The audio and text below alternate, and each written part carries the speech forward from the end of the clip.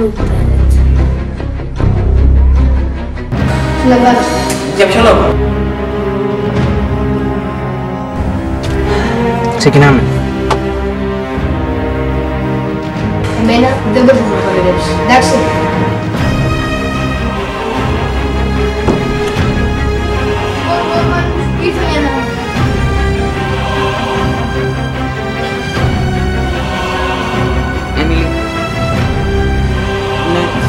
Λείψω για λίγο. Μην προσπαθείς να